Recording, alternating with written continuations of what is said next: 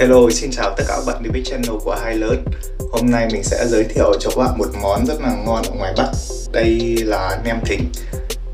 À, Nem thính thì ở ngoài Bắc thì ai ấy ở ngoài đấy thì cũng biết đến Nhưng mà ở trong miền Trung và miền Nam thì chắc là mọi người sẽ được ờ, ít nghe tới hơn.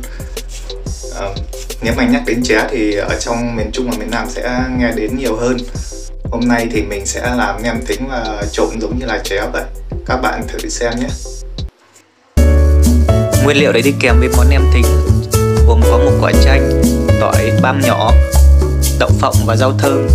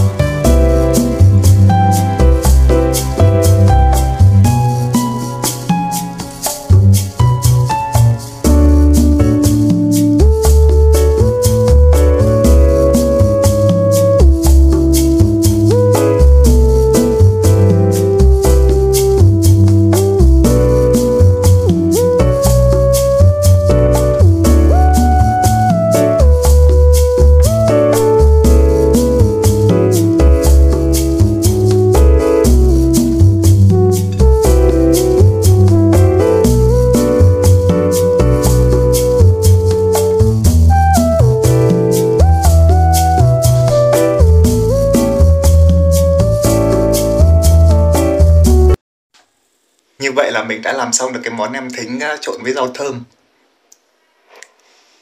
Rất là ngon các bạn nhé.